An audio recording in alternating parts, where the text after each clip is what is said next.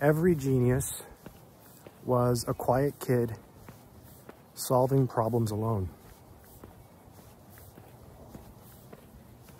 If you're watching this video and you're that quiet kid, or maybe that quiet adult who is doing self-study by themselves on a Saturday night,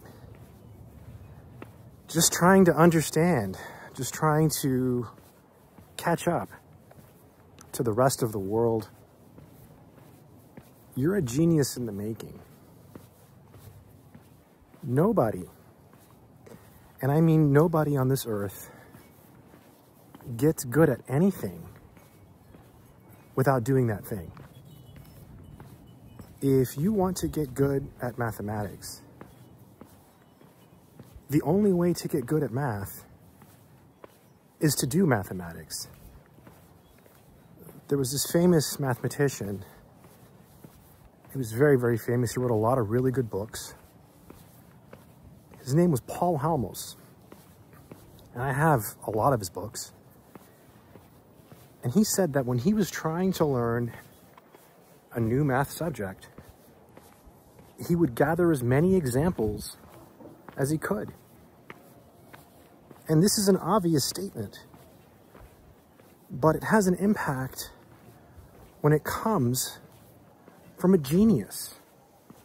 A man like Paul Halmos, who, who was a genius. He wrote so many extremely advanced, advanced mathematics books. He was the top of his field. He was so smart that he said that one of the things he hated about mathematics was that he couldn't explain his work to other people because it was so complex. Anyways, I digress.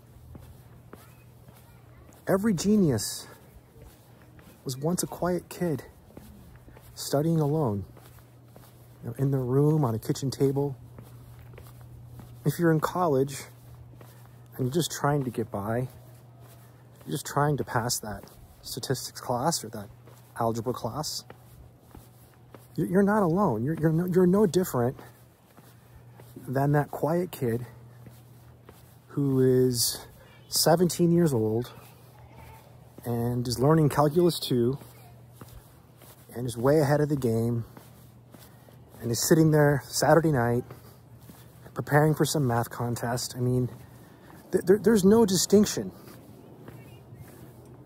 Math does not discriminate. You know, if, if you're studying advanced mathematics, you're still working hard.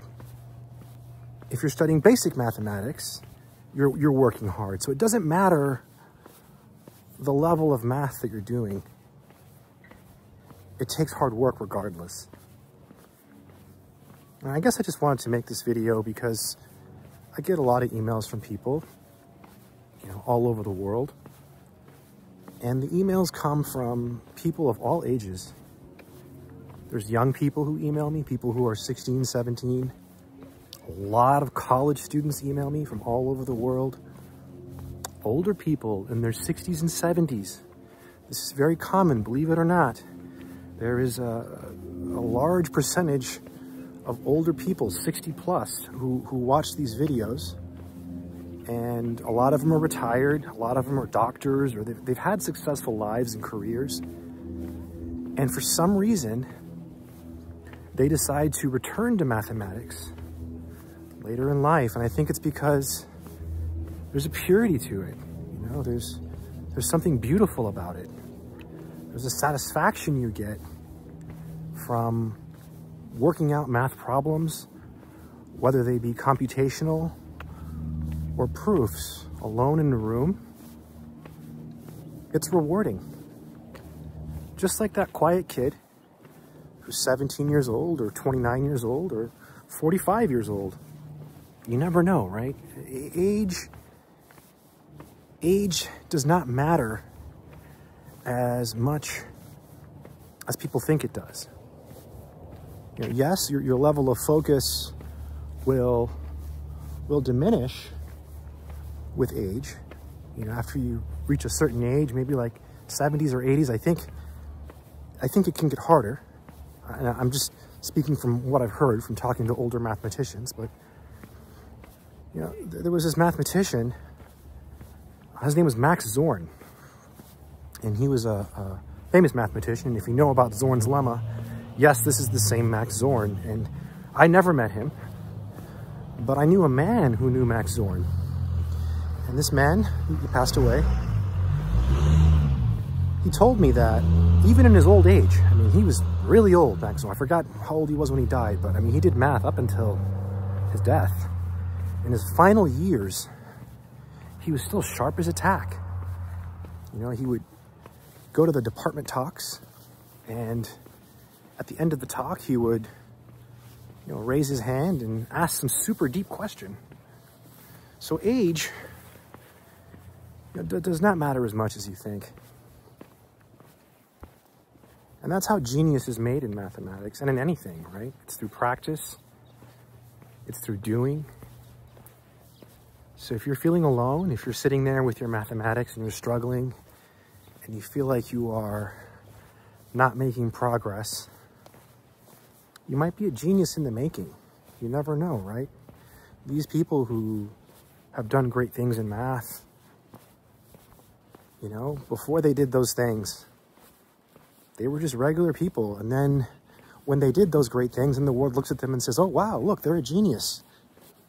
But they were already a genius in the making when they were sitting alone doing math. And so I guess the message is, it doesn't matter what level you're at, you know, you might be a genius in the making. And if you don't become a genius, if you don't do something amazing in math or, you know, you'll probably at least get to your goals You'll learn what you need to learn. It'll make you stronger. It'll make you smarter. It'll make you better at decision making. And math changes your brain, changes the way you think, changes the way you talk. It, it really changes you as a human being. I know it changed me completely. So for all the quiet kids alone, sitting in a room on Saturday night, you know, while their friends are out there partying or going to the movies with girls or whatever, whatever people do, you know, you might be a genius in the making. You, know, you might be onto something here and don't give up. It's not wasted time. You know, time, time you spend doing mathematics is certainly not wasted time. It's time that is well spent, it's rewarding in your learning, and it's good for you. I think that's all I wanted to say in this video. I have courses if you want to check them out. Links are in the description. They're on Udemy, but please use my links. You can go to my website from there and it has uh, all the courses there, or all the links are also in the description calculus, algebra, etc. Tons of courses. Books, links in the description. My books have funny prices on purpose. I price them irrationally. All my ebooks are 2 pi, all my paperbacks are 4 pi, and all my hardcovers are 8 pi. If you're that quiet kid alone, sitting in a room doing math, I just want you to know that you should keep doing it. If people judge you, and they call you names and so what? It's going to make you strong, not just at math, but at life. You know, math builds discipline, it builds character. Keep doing mathematics, my friends. Don't let anyone ever stop you. Stay strong.